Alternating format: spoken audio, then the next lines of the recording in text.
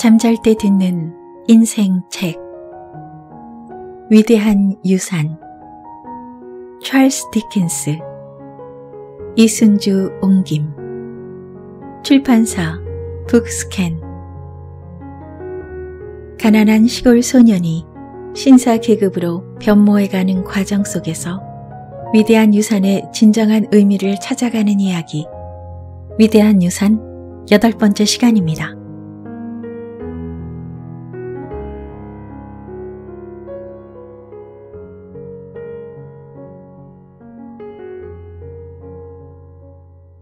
조금 전까지만 해도 그 사람이 누군지 도무지 정체를 알 수 없었지만 그가 그런 도움을 주지 않아도 그가 누군지 알아보았다. 그는 내 앞으로 오더니 다시 한번 두 손을 내밀었다. 나는 어떻게 해야 할지 몰랐지만 마지못해 그에게 두 손을 내밀었다. 그는 반갑게 내 두 손을 덥석 잡아 자기 입술에 가져가 키스를 하고는 계속 붙들고 있었다. 고상해졌어. 그가 말했다. 아주 고상해졌군, 핍. 자네를 결코 잊을 수 없었네. 그가 날 끌어안으려 하자 나는 한 손으로 그의 가슴을 밀어냈다. 잠깐만요. 내가 말했다. 물러서세요. 내가 어릴 때 당신을 도와드린 게 고마웠다면 생활 방식을 바꿈으로써 그 고마움을 표현해야 했어요. 내게 고맙다는 인사를 하려고 이렇게 찾아오셨다면 그럴 필요가 없었습니다. 내가 여기 사는 걸 어떻게 알아내셨는지 모르겠지만 어쨌든 알아내셨고 또 이렇게 찾아온 건 좋은 뜻에서였으니까 당신을 쫓아내지는 않겠습니다. 하지만 분명히 알아두셔야 할 건 그가 나를 뚫어지게 빤히 쳐다보는데 너무 신경이 쓰여서 나는 할 말을 잃었다. 내가 분명히 알아둘 게 있다고 했는데 뭘 분명히 알아둬야 한다는 거지. 서로 말없이 뚫어져라 쳐다보다가 그가 먼저 입을 열었다. 제 말은 이렇게 달라진 상황에서 예전에 우리가 가진 우연한 관계를 다시 시작하고 싶지 않다는 겁니다. 당신이 회개하고 회복하신 것 같아서 반갑습니다. 이렇게 말할 수 있어서 반갑기도 하고요. 나에게 고맙다는 말을 하기 위해서 이렇게 찾아오신 걸 생각하면 반가워요. 하지만 우리가 갈 길은 다릅니다. 비에 젖고 피곤하신 것 같군요. 뭘 좀 마시고 가시겠어요? 그는 손수건을 다시 목에 느슨하게 메고 손수건 한쪽 끝을 물어 뜯으면서 나를 빤히 쳐다보고 서 있었다. 그렇다면 가기 전에 뭘 좀 마시지.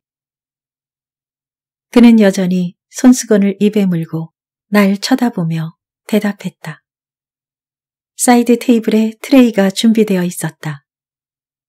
나는 그걸 난로가 테이블로 가지고 와서 그에게 뭘 마시겠느냐고 물었다. 그는 쳐다보지도 않고 무슨 말을 하지도 않고 그냥 병들 중 하나를 건드렸고 나는 그걸로 그에게 따뜻한 럼주를 한 잔 만들어 주었다. 그러는 동안 손을 떨지 않으려고 애썼지만 그가 의자에 기대앉아 계속 손수건 한쪽 끝을 물어 뜯으면서 나를 쳐다보고 있었기에 손을 제대로 가누기가 힘들었다. 마침내 그에게 술잔을 내려놓고 보니 놀랍게도 그의 두 눈에 눈물이 고여 있었다. 그때까지 나는 그 사람이 그걸 마시고 얼른 나가주기를 바라는 뜻에서 계속 서 있었다. 그러나 그의 약한 면을 보니 내 마음도 약해지면서 약간 수치심이 들기도 했다.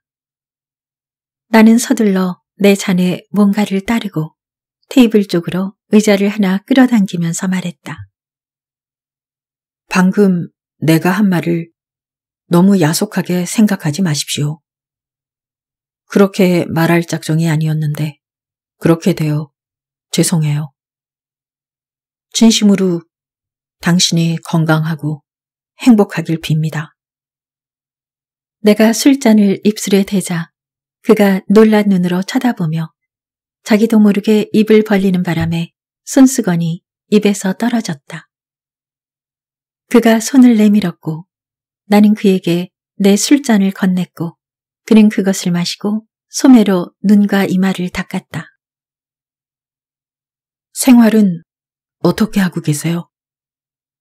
내가 물었다. 뭐, 목양업, 목축업, 그 밖에도 다양한 일을 했지. 머나먼 신세계에서 말이야. 그가 대답했다. 사업은 잘 되셨나요? 아주 잘 됐지. 그런 일을 해서 재미를 본 사람이 나 말고도 많겠지만 나만큼 재미 본 사람은 없을 거야. 난 그곳에서 성공한 사람으로 유명하지. 그러시다니 반갑습니다. 자네한테 그런 소리를 듣고 싶었다네. 나는 잠시 멈추고 그의 말의 의미와 어조를 이해하려 하지 않고 그 순간 머리에 떠오른 생각으로 화제를 돌렸다. 언젠가 내게 보낸 메신저를 그 후 만나보셨나요? 아니, 그럴 수 없었지. 그 사람은 약속대로 날 찾아와서 1파운드짜리 은행권 두 장을 주고 갔어요. 잘 아시겠지만 당시에 난 가난했고 가난한 소년에게 그건 큰 돈이죠. 하지만 그 후 나도 당신 못지않게 성공했습니다. 이제 그 돈을 갚아드리겠습니다. 나 말고 다른 가난한 소년에게 주세요. 나는 지갑을 꺼냈다. 그는 내가 지갑을 꺼내 테이블 위에 올려놓고 1파운드짜리 은행권 두 장을 꺼내는 것을 지켜보았다. 은행권은 깨끗한 새 지폐였고 나는 그걸 펼쳐 그에게 건네주었다. 그는 계속 날 쳐다보면서 지폐 두 장을 겹쳐 세로로 접더니 비틀었다. 그리고 그것을 등불에 갖다 대 불을 붙이고는 재를 잿더리에 내려놓았다. 감히 물어봐도 되겠나? 그는 찡그린 건지 미소 짓는 건지 도무지 알 수 없는 표정으로 말했다. 자네와 내가 그 늪지대에서 떨면서 만난 날 이후에 자네가 어떻게 해서 성공하게 됐는지 물어봐도 되겠나? 어떻게 해서라뇨? 그래, 어떻게 해서 성공했냐 이 말이지. 그는 술잔을 비우고 일어나 불가로 가더니 구릿빛 큰 손을 벽난로 선반에 올려놓았다. 그는 부추를 말리려는 듯 벽난로 창살에 한 발을 올려놓았고 젖은 부추에서 김이 올라오기 시작했다. 그러나 그는 부추도 불도 쳐다보지 않고 나만 계속 쳐다보았다. 그제야 몸이 와들와들 떨리기 시작했다. 마침내 내 입이 떨어지고 소리 없는 단어가 형성되었을 때 나는 간신히 누군가로부터 유산을 상속받게 됐다고 말했다. 명확하게 발음할 수는 없었지만 그렇게 말했다. 얼마나 상속받을지 물어봐도 되겠나? 모릅니다. 나는 머뭇거리면서 대답했다. 누구한테서 상속받을지 물어봐도 되겠나? 모릅니다. 나는 다시 머뭇거리면서 대답했다. 좋아. 자네가 성년이 된 후 수입이 얼마였는지 내가 맞춰볼까? 첫 자리 숫자만 맞춰보지. 5. 나는 마구 두근대는 가슴으로 의자에서 벌떡 일어나 의자 등받이를 잡고 서서 그를 뚫어지게 바라보았다. 자네의 후견인에 대해서 말해볼까? 자네가 미성년자였을 때 후견인이 있었을 거야. 그 사람은 아마 변호사였을걸. 그 사람 이름은 아마 첫 글자가 J로 시작할걸. 나의 위치에 관한 모든 일이 명백해지기 시작했다. 거기에 따른 실망, 위험, 치욕, 온갖 종류의 결과들이 한꺼번에 밀려와 나는 주체하기도 힘들고 숨쉬기도 어려웠다. 이름의 첫 글자가 J로 시작하는 그 변호사. 아마 제거스였던가? 그 변호사를 고용한 사람이 배편으로 포추머스로 와서 거기에 내린 다음에 자네를 보고 싶어 했다더군. 자네가 여기 사는 걸 어떻게 알아냈느냐고 말했나? 내가 자네가 여기 사는 걸 어떻게 알아냈을까? 포추머스에서 런던에 있는 어떤 사람에게 자네의 상세한 주소를 알려달라는 편지를 보냈지. 그 사람의 이름은 외맥이던가. 나는 아무 말도 못하고 한 손은 의자 등받이를 잡고 다른 한 손은 질식할 것만 같아 내 가슴에 올려놓고 그를 뚫어지게 쳐다보고 서 있었다. 방이 파도를 치면서 빙글빙글 도는 것 같아 비틀거리며 의자를 꽉 움켜잡았다. 그는 나를 부축해 소파로 데려가 쿠션에 기대 앉힌 다음 한쪽 무릎을 꿇고 내 앞에 앉아 내가 똑똑히 기억하고 있는 얼굴, 나를 몸서리치게 하는 얼굴을 내게 바짝 들이밀었다. 그래, 핍.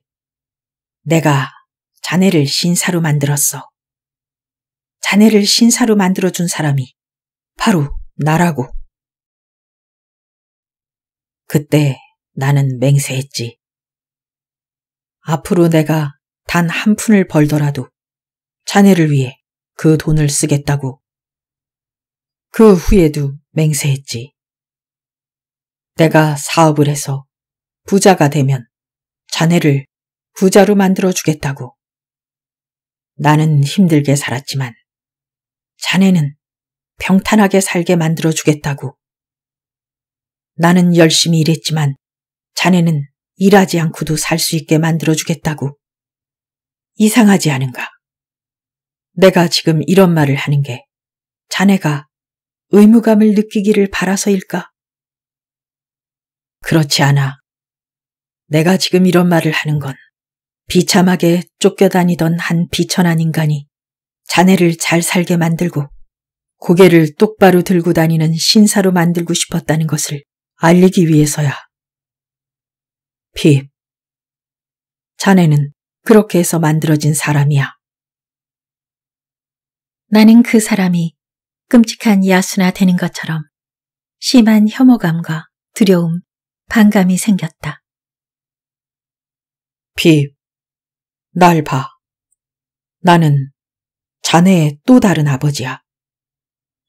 자네는 내게 아들 같은 존재. 아니, 그 이상이야. 자네만이 쓸 수 있도록 돈을 모아뒀네. 정막한 오두막에서 고용 양치기로 일하면서 남자와 여자의 얼굴이 어떻게 생겼는지도 잊어버릴 정도로 양들의 얼굴만 보고 살 때도 나는 자네의 얼굴을 봤어. 그 오두막에서 밥을 먹다가 불쑥 나타나는 자네 얼굴 때문에 놀라서 나이프를 떨어뜨린 게 몇 번인지 아나? 그럴 때마다 나는 생각했지. 저기 그 아이의 얼굴이 또 나타났구나. 내가 먹고 마시는 걸 저 아이가 다 보고 있어. 라고 생각했지. 나는 안개 낀 늪지대에서 자네를 봤을 때처럼 똑똑히 여러 번 자네의 모습을 봤어. 그럴 때마다 나는 밖으로 나가 하늘을 쳐다보고 기도했지. 신이시여, 저는 벼락 맞아 죽어도 좋습니다. 하지만 제가 자유와 부를 얻을 수 있다면 그 아이를 신사로 만들고 싶습니다. 라고 말이야.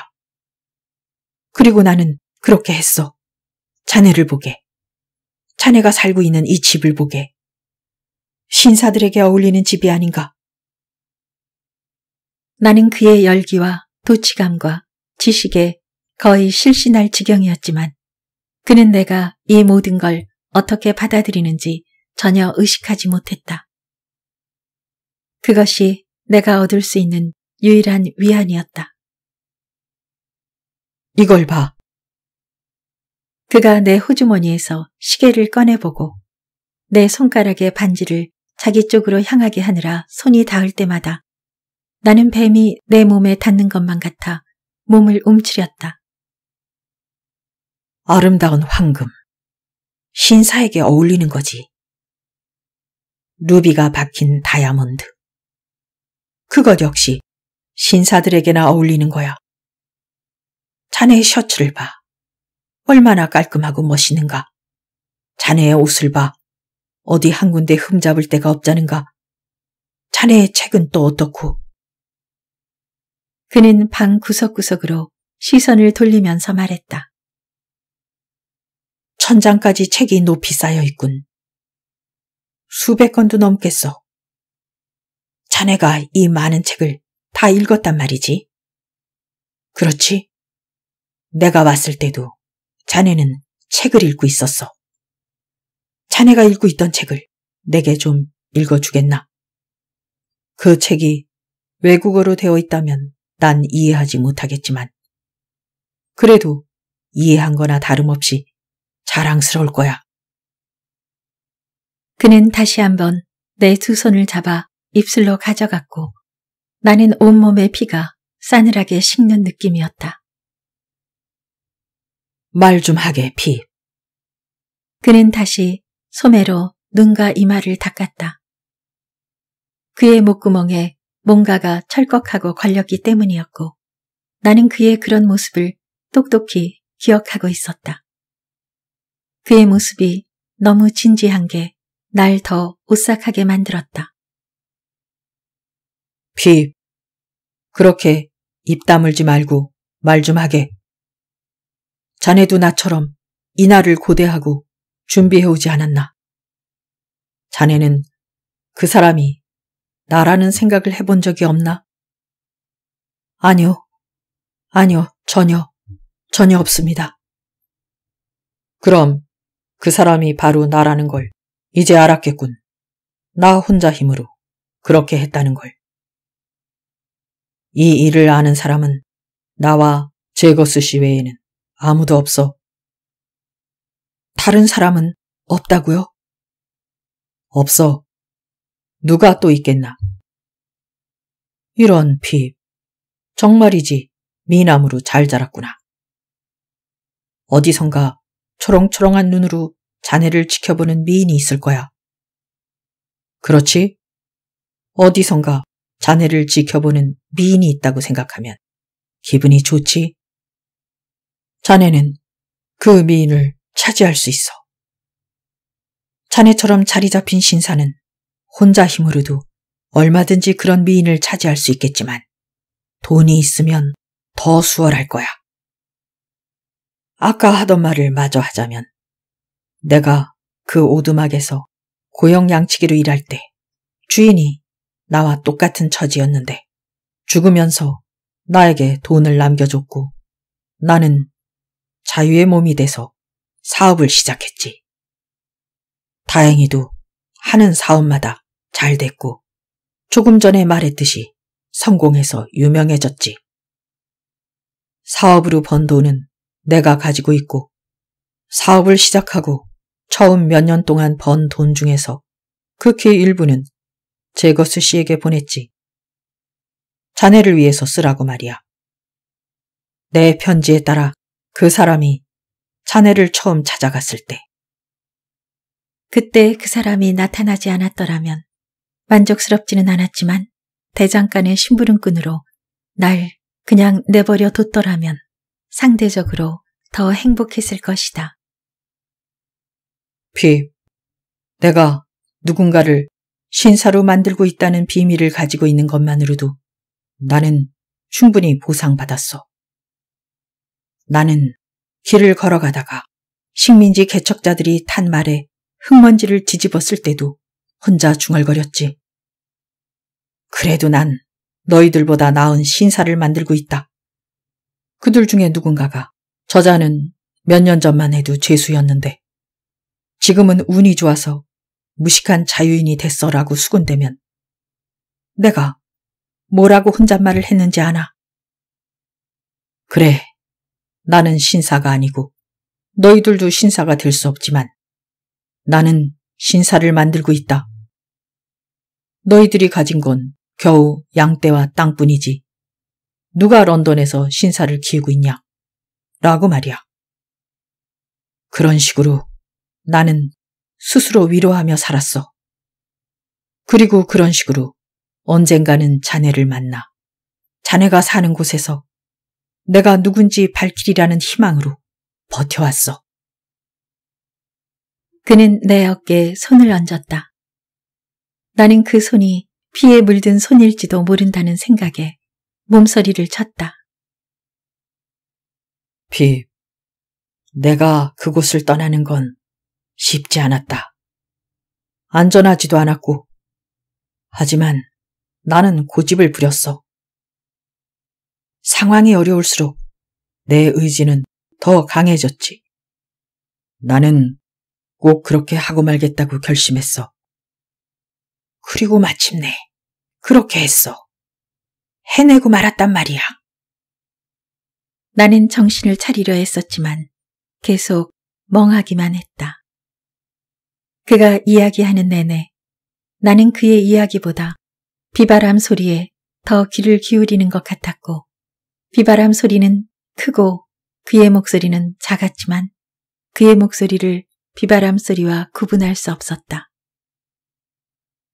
비, 나를 어디에 재워줄래? 날 재워줘야 하지 않겠니? 주무시고 가시게요? 푹 자고 싶구나. 파도와 씨름하면서 몇 달을 보냈거든. 마침 내 친구가 출장 가고 없으니까 그 친구 방을 사용하시면 되겠군요. 나는 소파에서 일어나면서 말했다. 그 친구 내일까지 돌아오지 않겠지? 그럴 겁니다. 내일까진 돌아오지 않을 겁니다. 나는 그러지 않으려 했었지만 기계적으로밖에 말이 나오지 않았다. 내가 왜 그런 걸 묻냐 하면 조심할 필요가 있어서 그래. 그는 목소리를 낮추고는 인상적으로 집게 손가락을 내 가슴에 대고 말했다. 무슨 뜻이죠? 조심이라뇨. 교수형 말이다. 죽을 수도 있다는 거야. 죽을 수도 있다뇨? 그게 무슨 말씀이세요? 나는 종신형을 선고받고 유배됐다. 그런데 이렇게 다시 런던에 나타났다가 붙잡히면 교수형이야. 요즘 죄수들이 많이 탈출했지. 그래서 잡히면 분명히 교수형에 처해질 거다. 더 이상 말이 필요 없었다.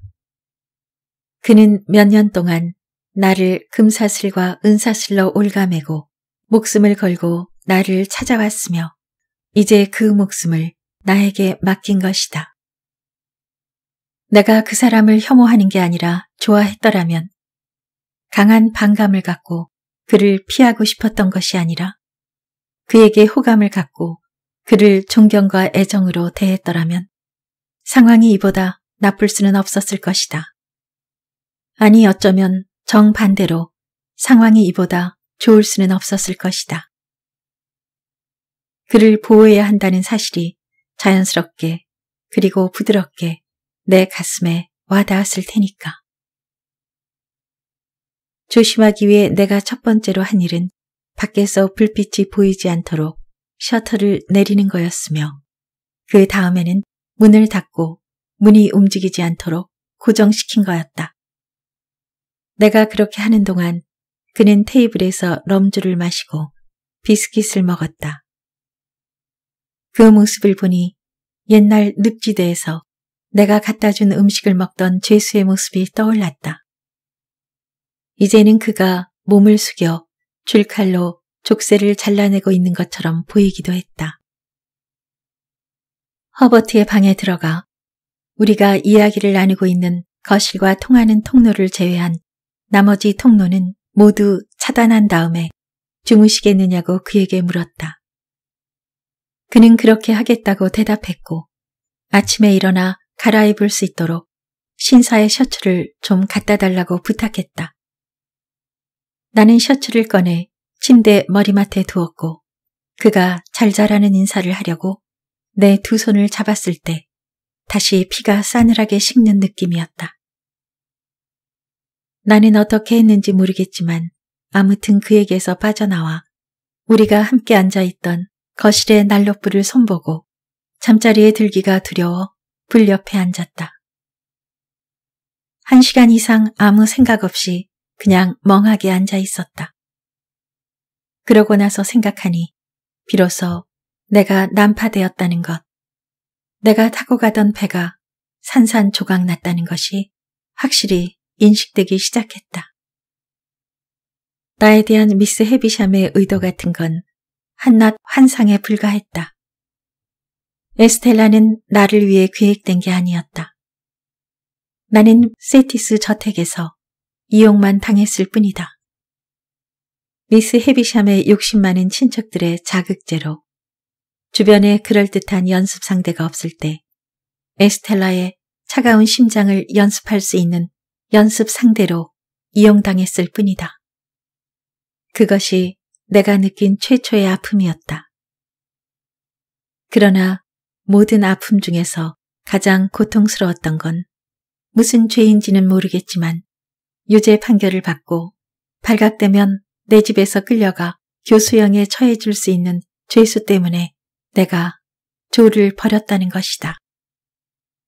이제 와서 조에게 돌아갈 수도 없고 이제 와서 비디에게 돌아갈 수도 없다. 아무리 생각해도 그럴 수는 없었다. 내가 그들에게 너무 야속하게 굴었다는 게 그 어떤 생각보다 컸다. 이 세상의 어떤 지혜도 그들의 소박함과 성실함이 내게 줄 수 있는 위로만큼 위로를 줄 수 없었지만 그래도 내가 한 짓은 결코 결코 되돌릴 수 없는 거였다. 격분한 바람과 쏟아지는 빗소리 사이로 추적자들의 소리가 들리는 것 같았다. 누군가가 바깥문을 두드리고 속삭이는 소리를 틀림없이 들은 것 같았다. 그것도 두 번이나. 이런 불안이 엄습하자 알 수 없는 그 존재가 내게로 다가오고 있다는 알쏭달쏭한 경고를 받았다고 상상되거나 기억되었다. 지난 몇 주 동안 그와 닮은 얼굴을 많이 스친 것 같았다. 그리고 그 닮은 얼굴들은 그가 바다를 건너 내 쪽으로 다가오고 있는 동안 점점 더 많아졌다. 그의 사악한 정신력이 어떻게든 나에게 그런 메시지를 보냈으며 그래서 이제 이 비바람 몰아치는 밤에 그가 바란 대로 그는 나와 함께 있게 된 것 같았다. 이런 기억과 함께 어린 시절에 내 두 눈으로 그가 대단히 난폭한 사람이라는 걸 똑똑히 보았으며 내 두 귀로 그와 함께 있던 재수가 그가 자기를 죽이려 했다고 몇 번이나 소리치는 걸 똑똑히 들었으며 내 두 눈으로 그가 도랑에서 야수처럼 싸우던 걸 본 기억이 떠올랐다. 불가에 앉아 이런 기억을 떠올리다 보니 이런 험악한 밤에 그 사람과 단둘이 집에 있는 것은 위험할지 모른다는 생각이 들었다. 이런 두려움은 점점 커져서 온 방을 채웠고 나는 마침내 촛불을 들고 내 두려움의 상대를 보러 방으로 들어갔다. 그는 손수건을 머리에 둘러매고 누워 있었다. 잠자는 그의 얼굴은 딱딱하게 굳어 있었고 침울해 보였다. 그는 자고 있었고 그것도 조용히 자고 있었다. 비록 베개 위에 권총을 올려놓고 있었지만 그가 잠든 것을 확인한 나는 조심스럽게 열쇠를 방 밖으로 가지고 나와 방문을 잠그고 다시 난로가에 앉았다. 그리고 조금씩 잠에 빠져 의자에서 미끄러져 바닥에 누웠다. 자면서도 내 비참한 상황에 계속 시달리다 눈을 뜨자 이스트워드 교회의 종들이 일제히 새벽 5시를 알렸다. 촛불은 다 타고 없었으며 난로불은 꺼졌고 비바람 때문에 짙은 어둠은 더 짙어 보였다.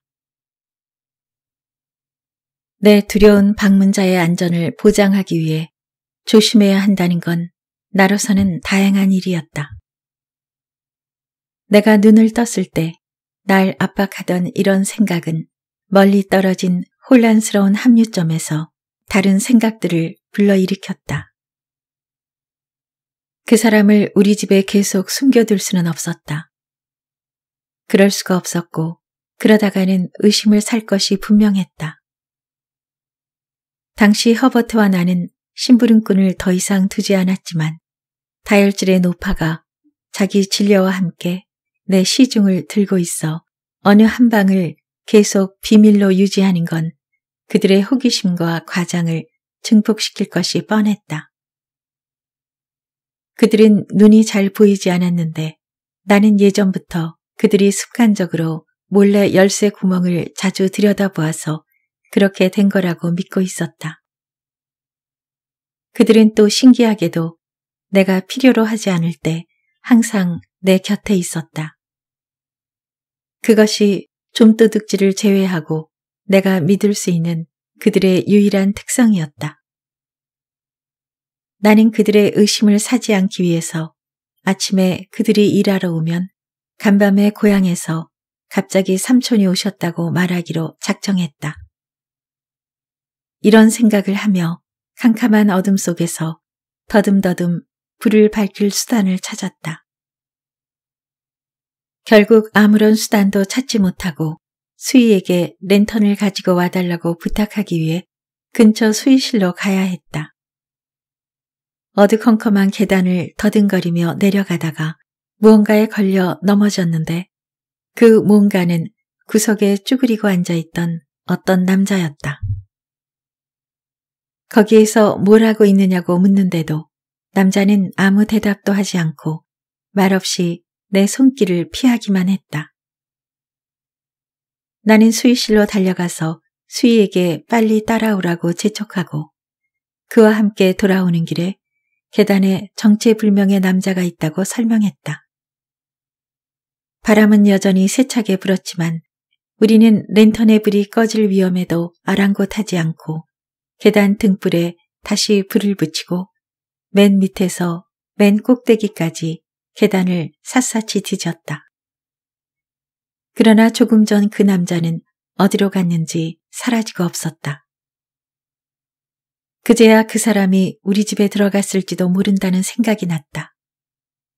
그래서 수희가 가지고 온 랜턴으로 촛불을 밝히고 그를 문간에 세워둔 채 내 두려운 손님이 잠든 방을 포함해 온 집안을 샅샅이 뒤졌다. 집안은 조용했고 아무도 우리 집에 들어오지 않은 게 확실했다. 하필이면 바로 그 밤에 계단에 누군가가 숨어 있었다는 게 이상해서 나는 도움이 될 만한 말을 들을 수 있지 않을까 하는 기대에 수희에게 술잔을 건네며 혹시 간밤에 외식이나 무슨 일로 나갔다 들어온 신사를 통과시킨 일이 없느냐고 물었다. 그는 간밤에 그런 일이 세 번 있었다고 대답했다.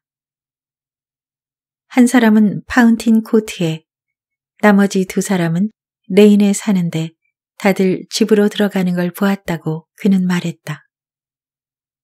그리고 우리 집에 있는 건물에 사는 어떤 사람이 몇 주째 시골에 내려가 있다는 말도 했다. 조금 전에 계단에서 올라올 때 그 사람의 집이 봉인되어 있는 것으로 보아 간밤에 그 사람이 돌아온 것도 아닌 게 분명했다.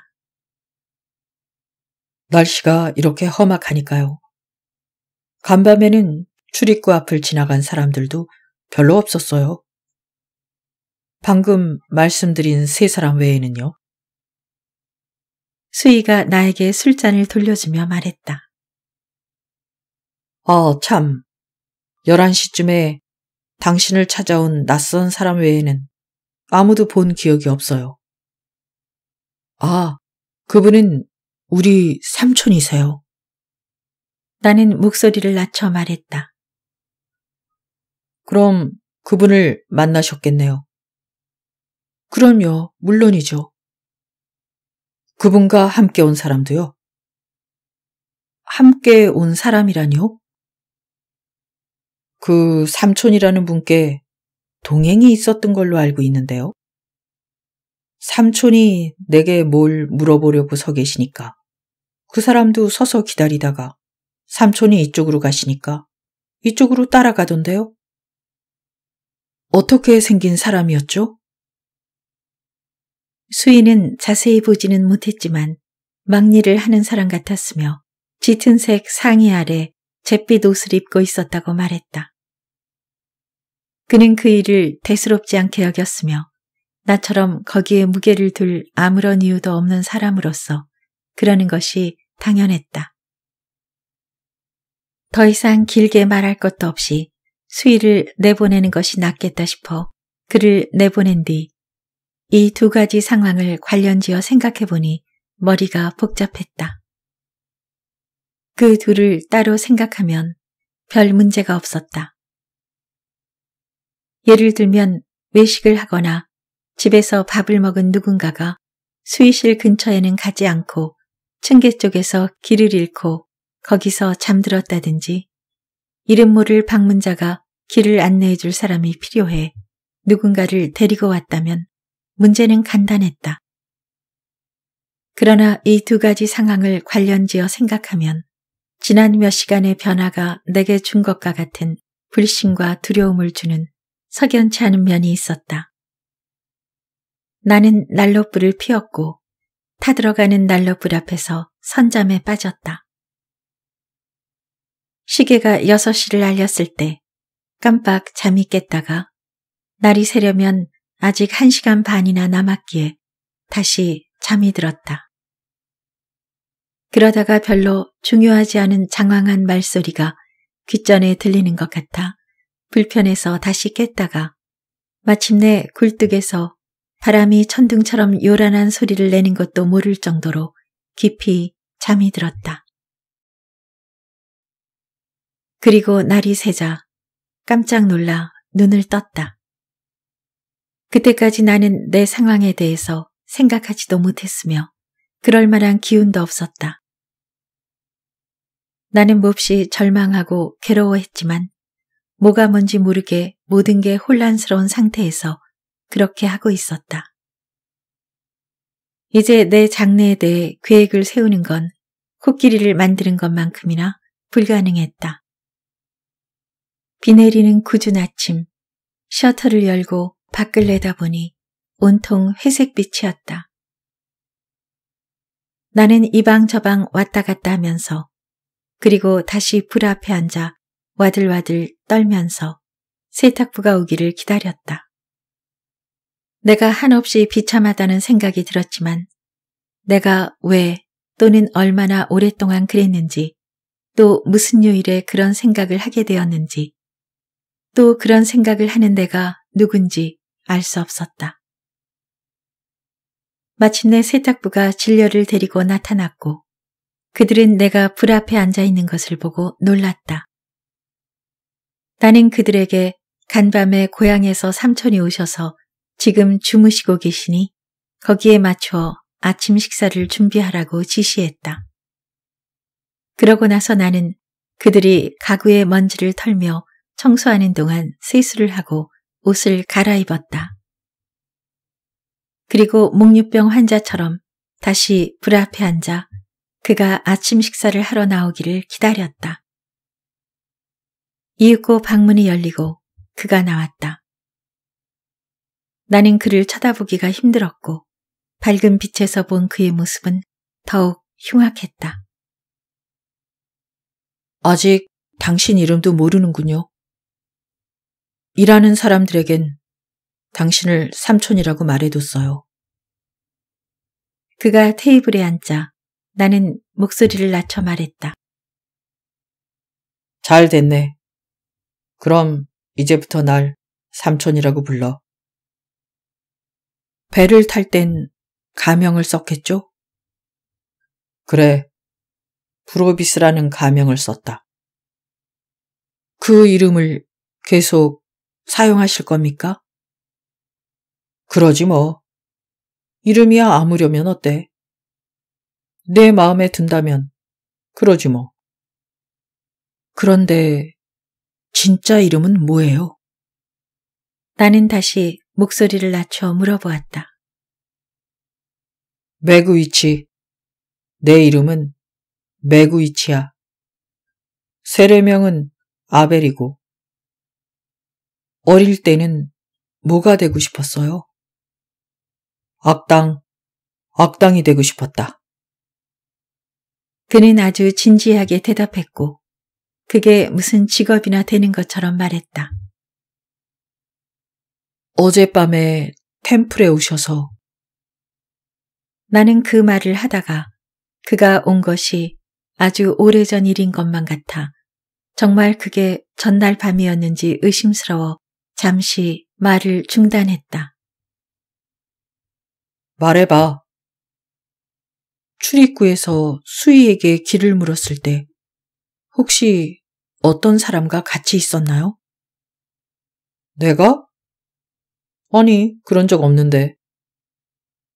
그런데 수희 말로는 누가 같이 있었다던데요? 나는 이곳으로 오는 길을 몰라서 길 찾는데 정신이 팔려 주위에 누가 있는지 신경 쓰지도 못했다. 그런데 나하고 같이 이쪽으로 오는 사람이 있긴 있었던 것 같아. 당신을 아는 사람이 런던에 있나요? 그러면 안 되지. 나를 아는 사람이 런던에 있으면 안 되는 거지. 그는 집게 손가락으로 목을 베는 신용을 했고 나는 속에서 열이 나면서 메스꺼워졌다.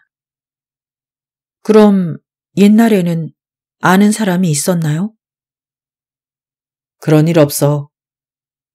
난 주로 지방에 살았으니까. 그럼 런던에서 재판을 받았나요? 몇 번째 재판? 그는 날카로운 표정으로 물었다. 마지막 재판요. 그는 고개를 끄덕였다. 그때 제거스 씨를 처음 알게 됐지. 내 변호를 맡았거든. 내가 무슨 일로 재판을 받았느냐고 물어보려는 순간 그가 칼을 들고 휘두르다시피 아침 식사를 하면서 말했다. 내가 저지른 일에 대해서는 이미 제 값을 치렀어. 그는 보기에 매우 불쾌하고 개걸스럽게 먹었고 그의 행동은 하나하나가 거칠고 소란스럽고 탐욕스러웠다. 늪지대에서 먹는 걸 봤을 때보다 이빨이 몇 개나 빠졌고 송곳니로 음식을 물어뜯기 위해 고개를 살짝 옆으로 돌릴 때의 모습은 마치 굶주린 늙은 늑대 같았다.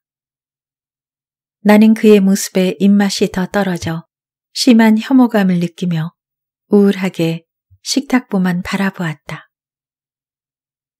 난 음식을 많이 먹는 편이다. 그는 식사를 끝내고 사과를 하듯이 정중하게 말했다.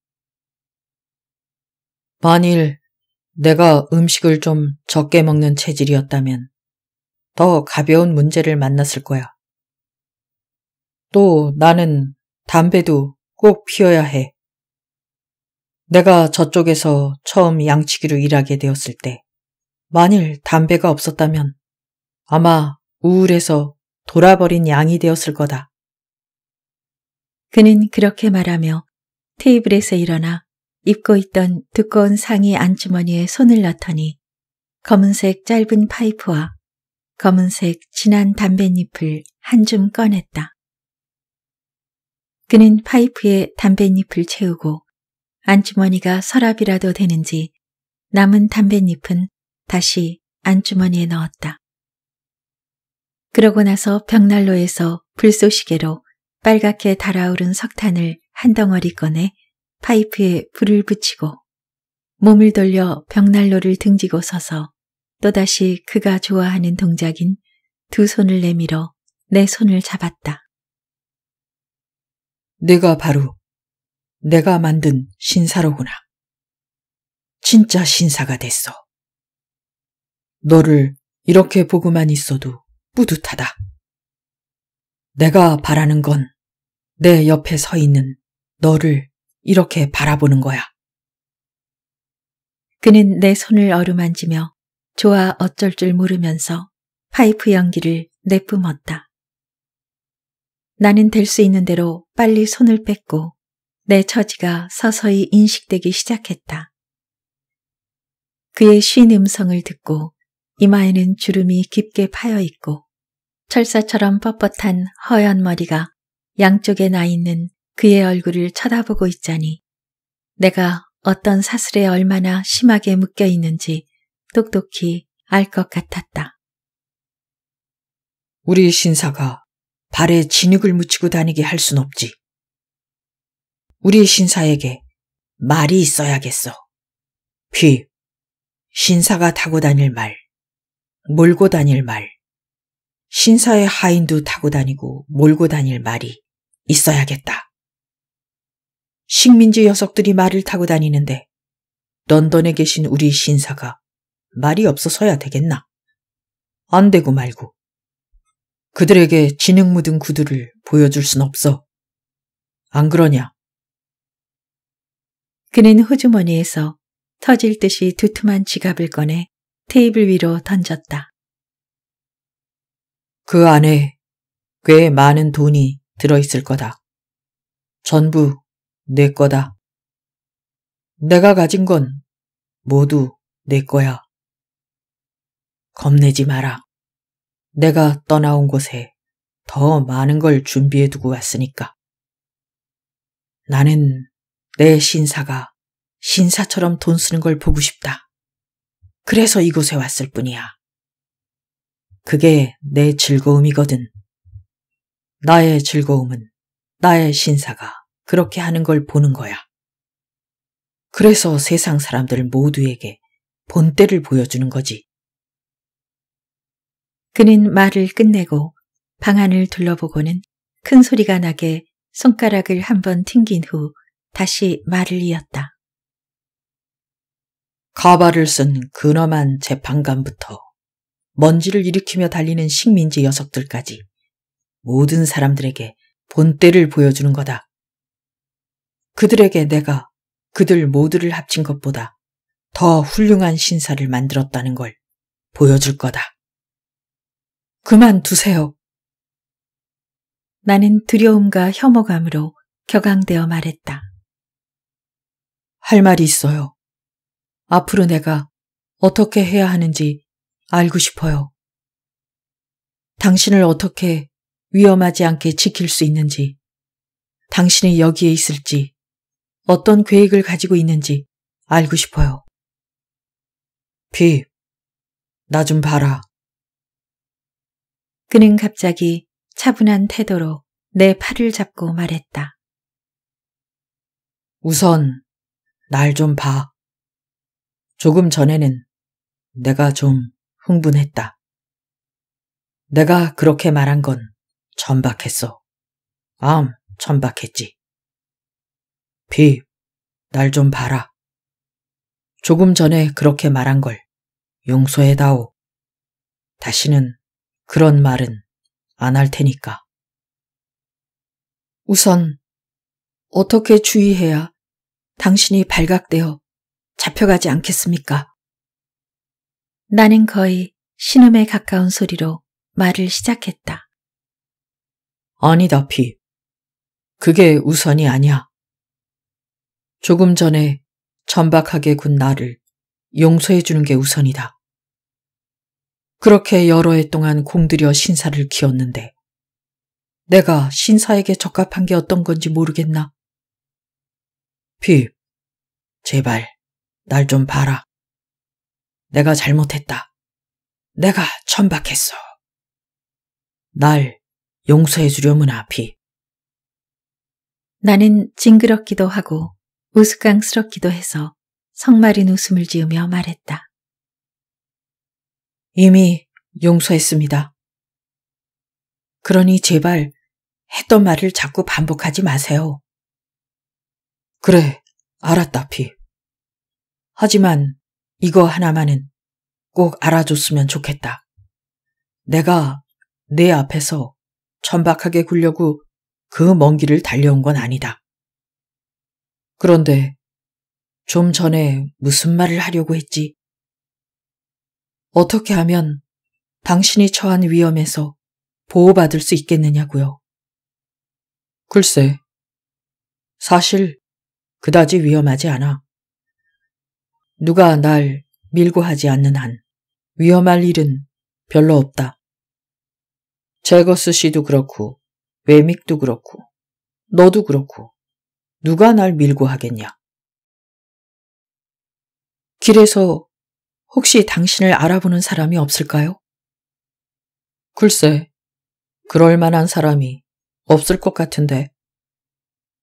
뭐, 내가 돌아왔다고 신문에 크게 광고 낼 생각도 없고, 세월이 많이 흘렀고, 날 신고해봐야 누가 득을 보겠니? 하지만 핍, 지금보다 백배 더 위험하다고 해도 나는 널 만나러 왔을 거다. 기억해둬라. 진심이다. 그럼 여기엔 얼마나 계실 작정이에요? 얼마나? 그 말에 그는 입에서 파이프를 뺀 다음 턱을 내리더니 나를 빤히 쳐다보았다. 나는 돌아가지 않을 거야. 영원히 돌아온 거다. 그럼 어디에 사시려고요? 어떻게 하시려고요? 어디가 안전하겠어요? 비, 돈만 주면 변장용 가발도 살 수 있고, 머리 분, 안경, 옷, 필요한 건 뭐든 살 수 있다. 그렇게 변장해서 안전하게 살고 있는 사람들이 많아. 누군가가 안전하게 한 일은 다른 사람도 안전하게 할 수 있다는 뜻이지.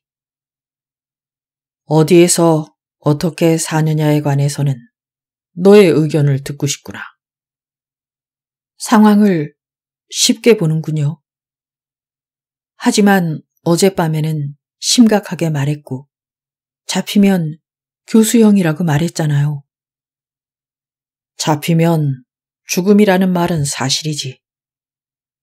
그는 다시 파이프를 입에 넣으면서 말했다. 여기에서 별로 멀지 않은 거리에서 많은 사람들이 보는 가운데 교수형을 당하게 되겠지. 그 점을 내가 확실히 알고 있는 게 중요하다. 또 그렇게 되면 어떠냐? 지금 내가 여기 있는데 그 유배지로 돌아가는 건 교수형 못지않게 아니 어쩌면 그보다 더 싫다. 그리고 피, 내가 여기 온 건 내 옆에 있고 싶어서다. 오래오래 내 옆에 있고 싶어. 내가 감히 이런 행동을 할 수 있었던 건 내가 노련한 늙은 새이기 때문이야. 나는 깃털이 나면서부터 온갖 함정을 다 겪어봤기 때문에 이젠 허수아비 어깨에도 겁없이 앉을 수 있다. 그 안에 죽음이 도사리고 있다면 나오라고 해. 내가 상대해 줄 테니까. 그리고 난 미리부터 죽음을 두려워하진 않는다. 자, 그럼 이제 우리 신사 얼굴이나 다시 한번 보자꾸나. 그는 또다시 내 두 손을 잡고 주인이 애지중지하는 소유물을 바라보듯 날 찬찬히 바라보며 느긋하게 파이프 담배를 피웠다.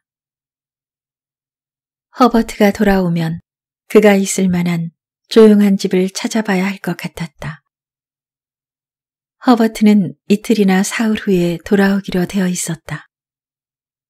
허버트에게 비밀을 털어놓으면 많은 위로를 받을 수 있을 거라는 건 논외로 치고 불가피한 필요에서라도 그에게 비밀을 털어놓지 않을 수 없었다. 그러나 프로비스 씨에겐 그렇게 명백하지 않았으며 그는 허버트를 만나 그의 인품을 보고 그에게 비밀을 털어놓는데 동의할지 말지를 판단하겠다고 말했다. 나는 그를 프로비스 씨라고 부르기로 결정했다. 프로비스는 호주머니에서 기름때 묻은 작은 성경책을 꺼내면서 말했다. 그렇게 하더라도 그 허버트라는 친구가 비밀을 지키겠다고 약속하더라도 이 성경에 맹세하도록 해야 해. 나의 무서운 후원자가 이 작은 성경책을 가지고 다니는 건 오로지 비상시에 누군가를 맹세하게 할 때 성경에 손을 얹게 하기 위해서였다고 말한다면 확증도 없이 말하는 게 되겠지만 그래도 그가 그걸 다른 용도로 쓰는 것을 보지 못했다. 그 성경책도 어느 법정에서 훔친 것 같았으며 그는 성경의 전례들에 대한 지식과 그 방면에 대한 자신의 경험을 바탕으로 성경책에 어떤 법적인 마력이나 주문과 같은 힘이 있다고 믿는 것 같았다. 그가 성경책을 처음 내놓았을 때 나는 그 옛날 그가 교회 묘지에서 내게 약속을 지키겠다고 맹세하게 했던 일이며 그가 홀로 외롭게 있을 때면 항상 자신의 결의를 맹세하곤 했다던 간밤의 말이 생각났다. 그때까지 그는 조잡한 선원복 같은 걸 입고 있었다. 그때부터 우리는 그가 어떤 옷을 입어야 할지를 의논했다. 그는 변장에는 반바지가 매우 유용하다고 철석같이 믿었고 수석 사제와 치과 의사 중간쯤으로 보이는 옷차림을 상상하고 있었다. 나는 꽤 수고한 끝에 마침내 부유한 지주처럼 보이는 옷차림을 하라고 그를 설득하는 데 성공했다. 그리고 우리는 그가 옆머리를 짧게 자르고 머리분을 약간 바르는데 합의했다. 마지막으로 우리는 아직 세탁부와 그 진료가 그를 보지 못했으므로 그가 새 옷으로 갈아입을 때까지는 그들의 눈에 띄지 않기로 합의했다. 이러한 주의 사항들을 결정하는 게 간단해 보일지 모르겠지만 산만하다고까지는 말할 수 없어도 정신이 멍한 상태에서 그렇게 하는 데에는 많은 시간이 걸려 우리는 오후 2시가 되어서야 겨우 이야기를 끝낼 수 있었다. 내가 볼일을 보고 오는 동안 그는 문을 잠그고 방에 들어가 있고 어떤 경우라도 문을 열어주지 않기로 했다. 에섹스 거리에 괜찮은 하숙집이 하나 있었는데 그 집의 뒤쪽은 템플을 마주보고 있어 내 방 창문에서 부르면 소리가 들릴 정도로 가까웠다. 나는 먼저 그 하숙집을 찾아갔으며 다행히 프로비스를 위해 2층을 빌릴 수 있었다.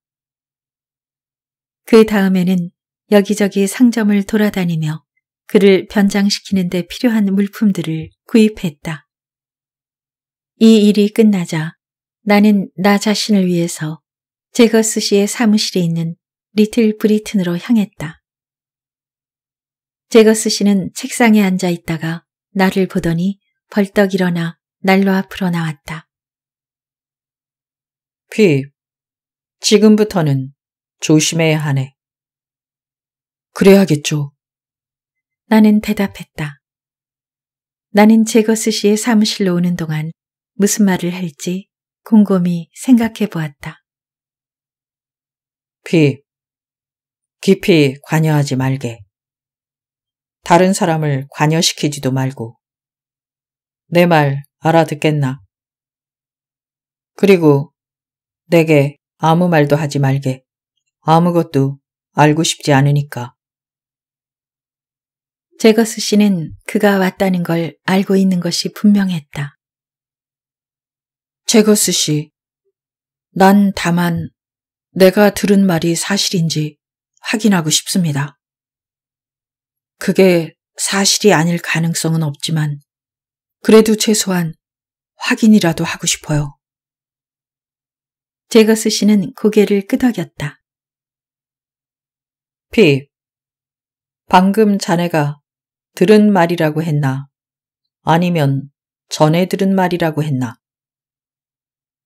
그는 고개를 한쪽 옆으로 기울인 채 나를 쳐다보지 않고 내 말을 듣기만 할 작정으로 바닥을 내려다보면서 물었다.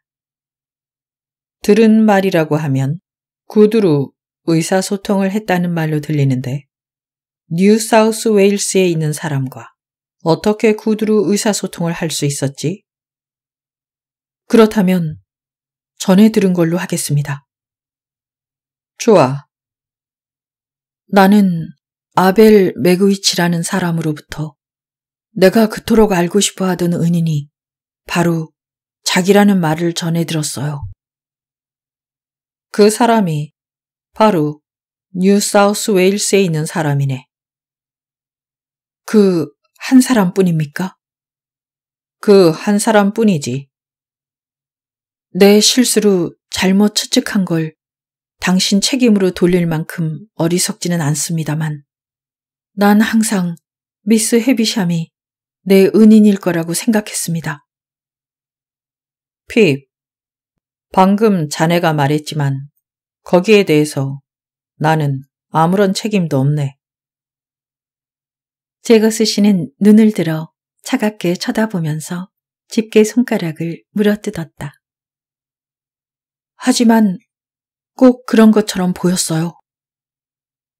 나는 실망해서 애원하다시피 했다. 핍, 아무 증거도 없잖나. 제거스 씨는 고개를 저으며 상의 옷자락을 잡아 올리면서 말했다. 무엇이든 눈에 보이는 것만으로 판단해서는 안 되네. 모든 일은 증거를 보고 판단해야 하네. 그보다 더 중요한 법칙은 없다네. 더 이상 할 말이 없군요. 내가 알고 싶은 걸 확인했으니까 이제 끝났습니다. 나는 잠시 말없이 서 있다가 한숨을 쉬며 말했다. 뉴 사우스 웨일스에 있는 매그위치가 마침내 모습을 드러냈군. 핍, 이제 알게 될 걸세. 내가 그동안 자네와 대화하면서 얼마나 철저하게 사실의 엄격한 선을 지켜왔는지를 말일세. 나는 사실의 엄격한 선에서 한 번도 벗어난 적이 없네. 이제 자네도 잘 알겠지. 잘 알고 있습니다. 뉴 사우스 웨일스에 있는 매그위치가 그곳에서 내게 처음 편지를 보냈을 때 내게 사실의 엄격한 선을 절대 벗어나서는 안 된다고 주의를 줬지. 나도 그에게 주의를 줬네.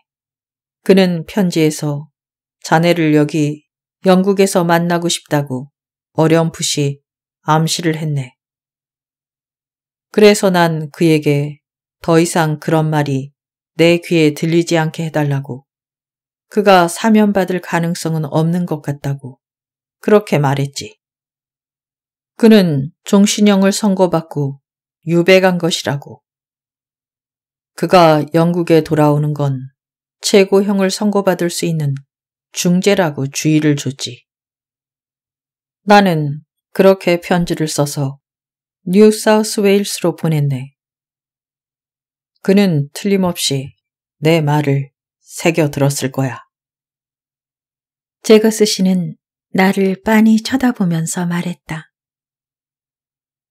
틀림없이 그랬을 겁니다. 그런데 웨믹에게 전해 들은 바로는 포츠머스에서 어떤 식민지 개척자가 편지를 보냈다더군. 이름이 비비스라든가. 제거스 씨는 여전히 나를 빤히 쳐다보면서 말했다. 프로비스입니다. 아, 프로비스지. 고맙네, 핍. 자네는 프로비스라고 알고 있지? 네, 그렇습니다.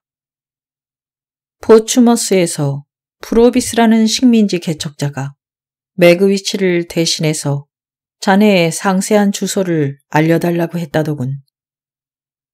그래서 외믹이 그 사람에게 자네의 주소를 알려준 걸로 알고 있네. 아마 자네도 프로비스라는 이름을 통해 뉴 사우스 웨일스에 있는 매그위치에 관한 얘기를 들었겠지? 그렇습니다. 프로비스를 통해서 전해 들었습니다.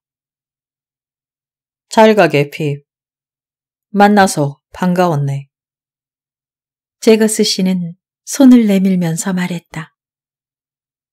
뉴 사우스 웨일스에 있는 매그위치에게 편지를 보내거나 프로비스를 통해 그에게 소식을 전할 때 우리의 오랜 거래에 관한 상세한 영수증을 자네과 함께 자네에게 보낼 거라고 전해주게. 아직 잔액이 좀 남아 있으니까. 그럼 잘 가게 핍. 우리는 악수를 했고 그는 나를 한참 동안 빤히 쳐다보았다. 나는 문을 향해 돌아섰고 그는 여전히 나를 빤히 쳐다보고 있었다. 외믹은 외출하고 없었지만 그가 자리에 있었다고 해도 나를 위해서 해줄 수 있는 말은 없었다. 나는 곧장 템플러 같고 소름 끼치는 프로비스는 태평하게 럼주를 마시고 파이프 담배를 피우고 있었다. 다음 날 내가 주문한 옷들이 도착했고 그는 새 옷으로 갈아입었다. 그는 무슨 옷을 입어도 그 전에 입고 있던 옷보다 못해 보였다. 내 눈에는 우울하게도 그렇게 보였다. 그에겐 변장시키려 애써봤자 소용없다고 생각하게 되는 뭔가가 있었다. 그에게 더 좋은 옷을 입히면 입힐수록 그는 더욱더 늪지대를 구부정하게 걸어가던 탈주범처럼 보였다. 내가 그런 느낌을 가지게 된 것은 이제 점점 익숙해진 그의 늙은 얼굴과 태도 때문이었다. 하지만 그는 한쪽 발에 족쇄를 차고 있는 것처럼 계속 발을 질질 끌고 걸었으며 머리부터 발끝까지 그 사람의 모든 면에 죄수 냄새가 배어 있었다고 지금도 생각한다. 더구나 그는 오두막에서 외롭게 생활한 탓에 어떤 옷을 입어도 야만적인 기미가 가시지 않았다. 덧붙여 그 뒤를 이은 남자들만의 생활에서 오는 영향과 무엇보다 그가 사람들의 눈을 피해 숨어 다니는 몸이라는 의식이 배어 있었다. 그의 앉은 모습이나 서 있는 모습, 먹고 마시는 모습, 어깨를 들어 올리고 마지못해 생각하는 듯한 모습, 뿔 달린 커다란 잭나이프를 꺼내 다리에 쓱 문지르고는 음식을 써는 모습, 가벼운 유리장과 컵을 둔탁한 접시 들듯이 들고 입술에 대는 모습. 빵을 쐐기 모양으로 잘라 자신에게 배당된 음식은 한 톨도 안 남기고 다 먹겠다는 듯이 그걸로 고기 국물이 남은 접시를 닦고 또 닦고는 손가락 끝에 묻은 고기 국물까지 닦고 그리고 그 빵 조각을 삼키는 모습. 이 모든 것과 일상생활 중 매 순간 나타나는 크고 작은 많은 일들이 그는 재수이자 중재인이며 부유한 지주가 아니라 농노라는 걸 똑똑히 말해 주었다. 머리분을 바르자는 건 그의 아이디어였고 반바지를 입겠다는 걸 겨우 말렸기에 머리분 바르는 건 내가 양보했다. 하지만 머리분을 바른 그의 모습은 죽은 사람에게 입술 연지를 발라놓은 것만 같았다. 그래서 그는 한번 시도해보고는 머리분 바르기를 곧 포기하고 반백의 머리를 짧게 잘랐다.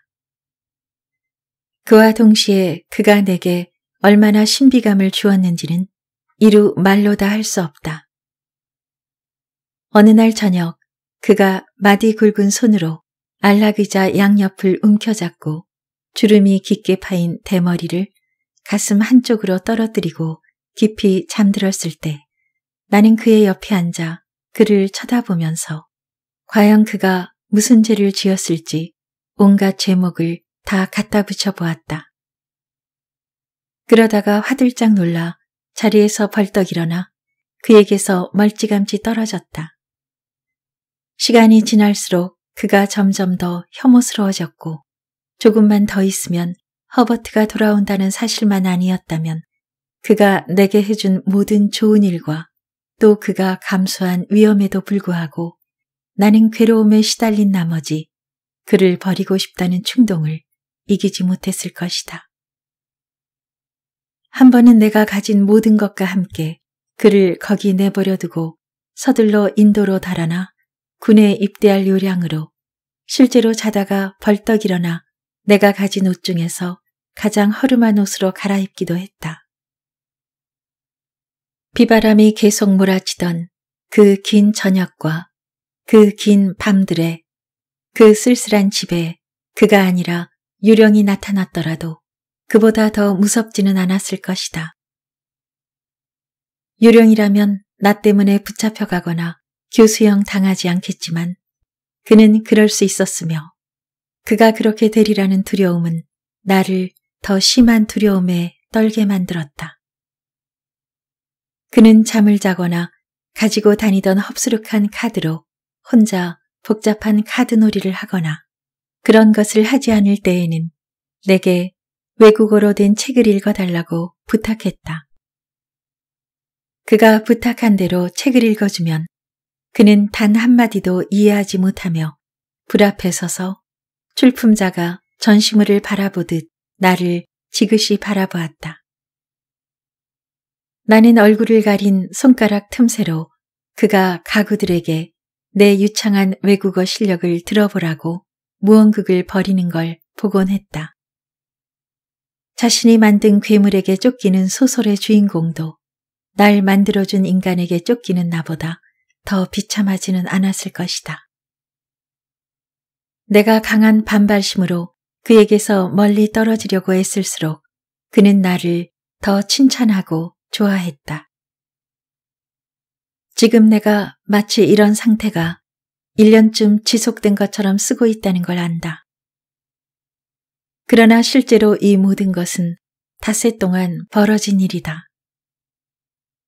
나는 항상 허버트가 돌아오기만을 기다리면서 해가 진 다음에 프로비스를 데리고 잠깐 바람 쐬러 나간 것 외에는 감히 외출할 생각도 못했다. 그러던 어느 날 저녁 식사를 마치고 피곤해서 잠시 선잠에 빠졌다가 계단을 올라오는 반가운 발소리에 벌떡 일어났다. 역시 선잠을 자고 있던 프로비스는 내가 일어나는 소리에 자기도 비틀비틀 일어나더니 어느새 손에 반짝이는 잭나이프를 들고 있었다. 치우세요.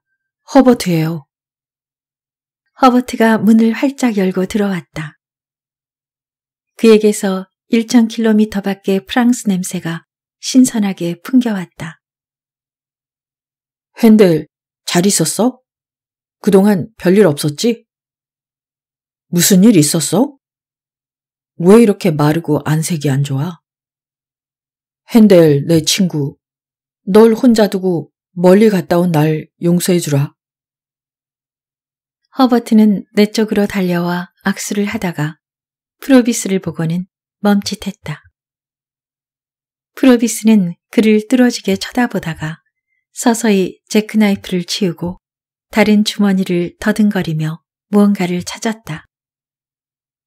나는 허버트가 의아한 눈으로 프로비스를 쳐다보는 동안 이중문을 닫으면서 말했다. 허버트, 좀 이상한 일이 생겼어. 이분은 날 찾아오신 분이야. 됐어. 그만. 프로비스는 그렇게 말하면서 작은 성경책을 허버트에게 내밀며 말했다. 이 책을 오른손에 들게. 어떤 식으로든 비밀을 누설하면 하 하나님이 그 자리에서 당장 벼락을 내리실 걸세. 이 성경책에 기스하게. 허버트, 그렇게 해. 내가 허버트에게 말했다. 그러자 허버트는 놀라고 불안한 눈빛으로 나를 쳐다보며 성경책에 키스했고 프로비스는 즉각 그와 악수를 나누면서 말했다. 자, 이제 자네는 성경에 맹세했네. 피비 말한 것과 달리 자네가 신사가 아니라면 내 맹세 같은 건 절대로 믿지 말게. 자네가 맹세를 지킬 걸로 믿겠네. 우리 세 사람은 난로불 앞에 앉았고 내가 비밀을 전부 이야기했을 때 허버트는 놀라고 동요했다.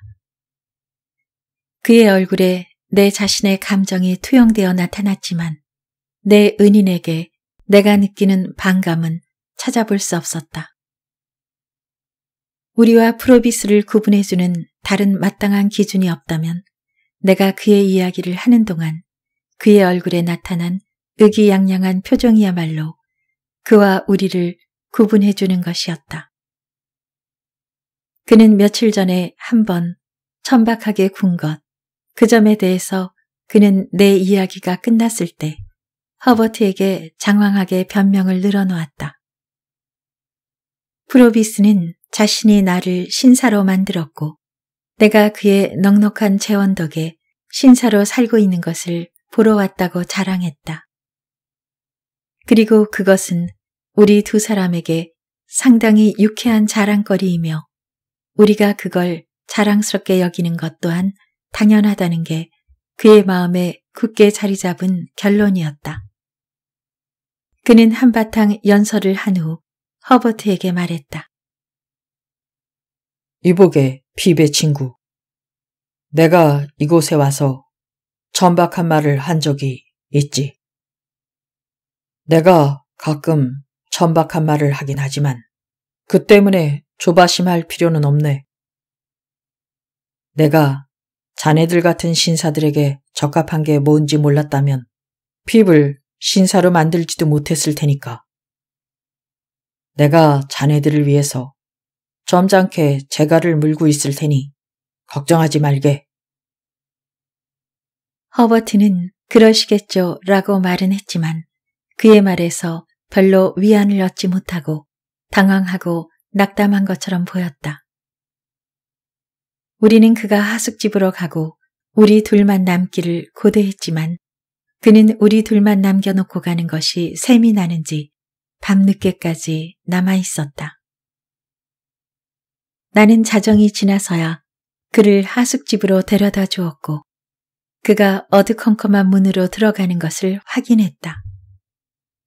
그가 문을 닫고 들어가자 그제야 겨우 그가 돌아온 날 밤 이후 처음으로 안도의 한숨이 나왔다.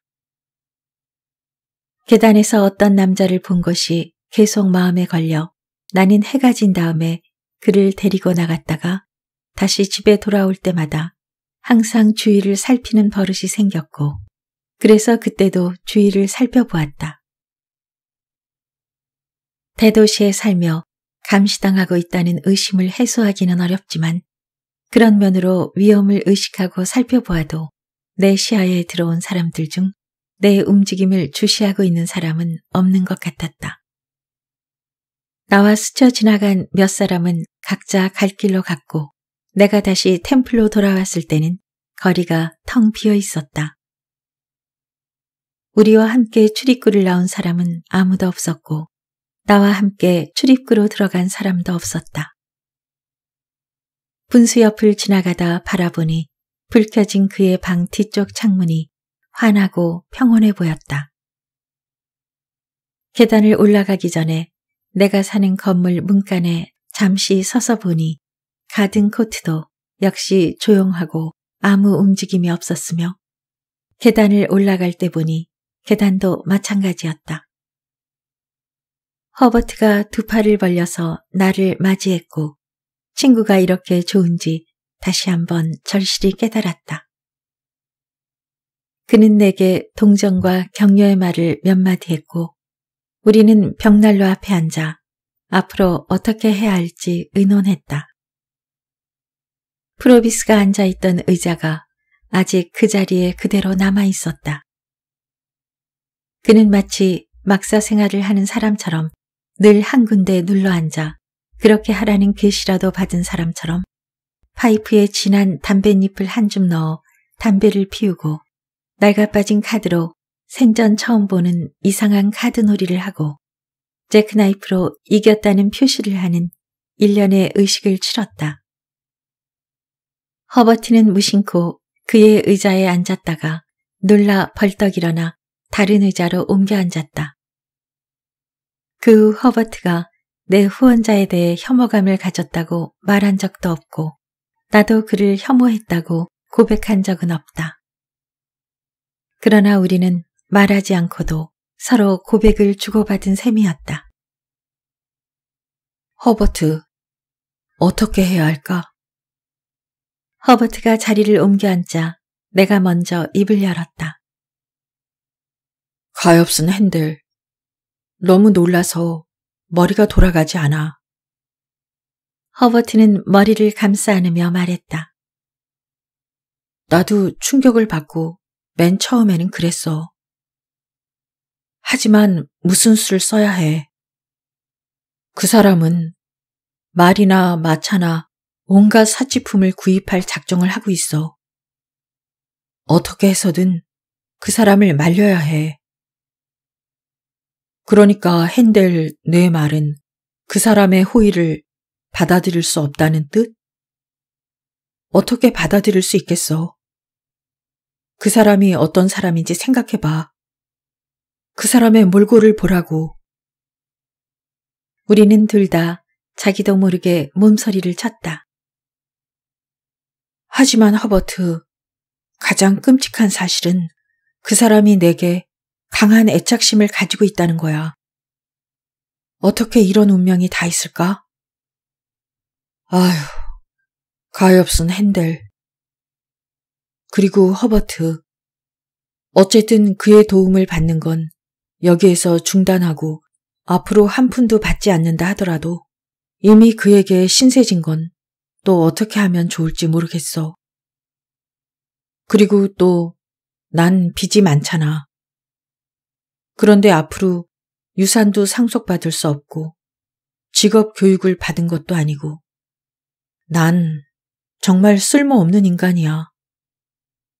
핸델, 내가 왜 쓸모없는 인간이야? 어디가 쓸모가 있어?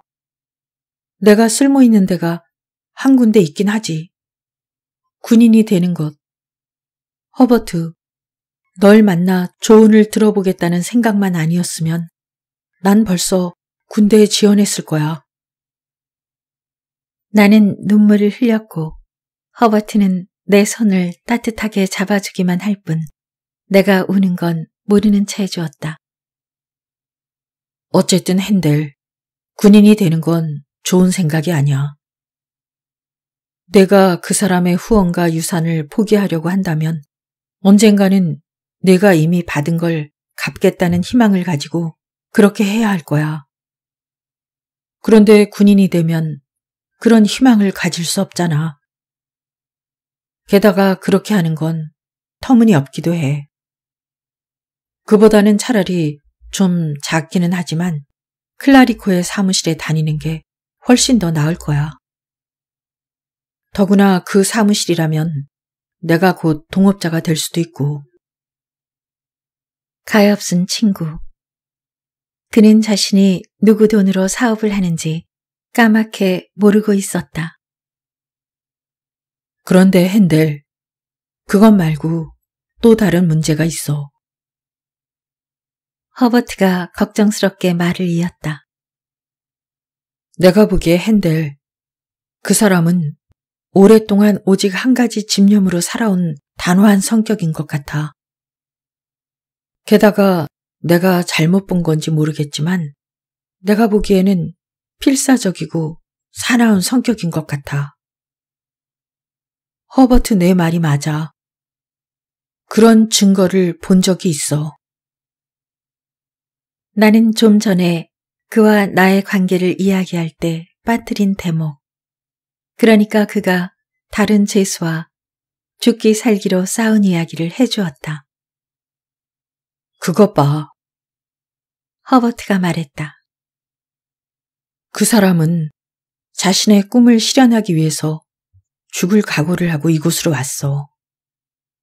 그 많은 수고와 기다림 끝에 마침내 자신의 꿈을 실현하게 됐는데 핸델 내가 그 사람과 관계를 끊으면 그 사람은 꿈이 깨지고 자신의 부가 무용지물로 보일 거야.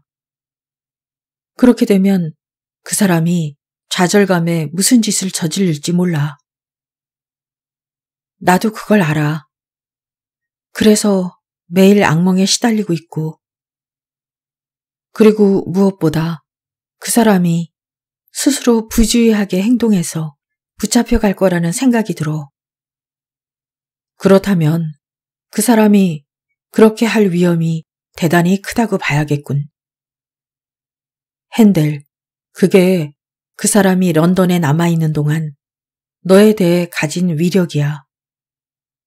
내가 그 사람을 저버린다면 그 사람은 그런 무모한 행동을 할 수밖에 없을 테고. 내가 그를 저버리는 행위가 살인행위나 다름없다는 생각은 처음부터 나를 짓눌러 온 것이었다.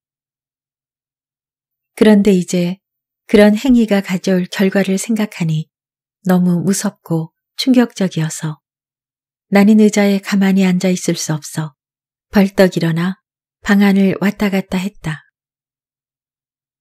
나는 허버트에게 프로비스가 자기도 모르게 정체가 드러나 잡혀간다 해도 나는 그 원인 제공자로서 아무리 무고하다고 해도 비참해질 거라고 말했다. 그러나 미친 듯이 울부짖는다고 해서 해결책이 나오는 것은 아니었다. 핸델, 가장 먼저 할 일은 그 사람을 영국 밖으로 데리고 나가는 거야. 내가 함께 간다고 하면 그 사람도 갈 마음이 생길지 몰라. 하지만 허버트, 그 사람을 어디로 데려간다고 해도 그 사람이 다시 돌아오는 걸 막을 수는 없잖아. 핸델, 뉴게이트 형무소가 바로 옆에 있는 이곳이야말로 내가 조금이라도 변심하면 이 세상 그 어떤 곳보다도 그를 무모하게 행동하게 만들 위험이 가장 큰 곳이라는 걸 모르겠니? 내가 그때 보았다는 다른 죄수나 그의 일생과 관련된 어떤 걸 구실로 그를 외국으로 데려갈 작정이라면 지금 당장 그렇게 해야 해. 허버트, 나는 그 사람에 대해서 아는 게 아무것도 없다니까. 그 사람이 내 행운인지 불행인지 모를 것에 그렇게 깊이 관여하고 있지만 어린 시절에 날 이틀 동안 떨게 만든 비참하고 비열한 사람이라는 것 외에는 난 그 사람에 대해 아무것도 몰라. 그런 상태로 밤에 내 앞에 앉아 있는 그를 바라보면서 앉아 있을 때 내가 얼마나 미칠 것 같은 심정이었는지 알아? 허버트는 일어나서 내 쪽으로 오더니 내 팔을 잡아 팔짱을 꼈고 우리는 함께 양탄자의 시선을 고정한 채 천천히 실내를 왔다 갔다 했다. 핸델, 너 정말 그 사람으로부터 더 이상 지원받지 않을 작정이지? 허버트가 걸음을 멈추고 말했다. 당연하지. 아마 허버트 내가 내 입장이라도 그럴 거야. 그리고 그 사람과 관계를 끊을 거지? 허버트, 그걸 말이라고 해? 당연하지. 그리고 핸델, 넌 그 사람이 너 때문에 목숨을 걸고 찾아온 것에 연민을 느끼고 될 수 있으면 그를 살려주고 싶을 거야. 그렇다면 우선 그 사람을 영국 밖으로 내보내야 돼. 그런 다음에 너 자신을 구하는 거야. 그 사람을 외국으로 어떻게 내보낼지 방법은 우리가 함께 연구해보자. 허버트의 그 말은 악수를 청할 정도로 위로가 되는 말이었고, 우리는 그 말을 끝으로 다시 천천히 실내를 왔다 갔다 했다. 우리는 대화를 마친 후 잠자리에 들었다. 나는 그에 관해 악몽을 꾸다가 개운치 않은 기분으로 깨어났다. 깨어나 보니 잠든 동안 잠시 잊고 있던 두려움. 그가 유배지에서 돌아온 유영수라는 사실이 발각되는 두려움이 되살아났다. 일단 깨어난 다음에는 그 두려움에서 벗어날 수 없었다. 프로비스는 아침이 되자 잭나이프를 들고 나타나 식탁에 앉았다. 그는 자신의 신사를 튼튼하게 만들고 더욱 신사답게 만들 여러 계획을 들려주었다. 그러고는 내게 보관하라고 준 지갑의 돈으로 서둘러 일을 시작하라고 재촉했다. 그는 우리가 세든 집이나 그의 하숙집을 일시적인 거주지라고 생각하고 당장 하이드파크 근처에 근사한 집을 알아보라고 권했다. 그가 식사를 마치고 제크나이프를 다리에 닦을 때 나는 단도직입적으로 물었다. 어젯밤에 당신이 간 뒤에 내 친구에게 당신이 늪지대에서 싸우고 있는 걸 군인들이 발견했다는 얘기를 했어요. 우리가 갔을 때 싸우고 있었잖아요. 기억나시죠? 그럼 기억나고 말고 당연히 기억나지. 우린 그 사람에 대해서 그리고 당신에 대해서 알고 싶습니다. 어젯밤에 얘기했던 것 말고는 그 사람이나 당신, 특히 당신에 대해 우리가 아무것도 모르고 있다는 게 이상합니다. 지금이 우리가 당신에 대해 좀 더 알아야 할 때라고 생각하지 않으세요? 글쎄. 그는 잠시 뭔가를 생각하더니 다시 입을 열었다. 피베 친구. 자네 맹세할 수 있지? 네, 그럼요. 허버트가 힘주어 말했다. 자네의 맹세는 내가 하는 말에 모두 적용되는 거네. 알겠습니다. 분명히 말하지만 내가 한 짓은 다 밝혀졌고 난 죄값을 다 치렀어. 그러시겠죠? 그는 검은색 파이프를 꺼내 담뱃잎을 넣으려다가 그의 손에 든 얽히고 설킨 담뱃잎을 쳐다보았다.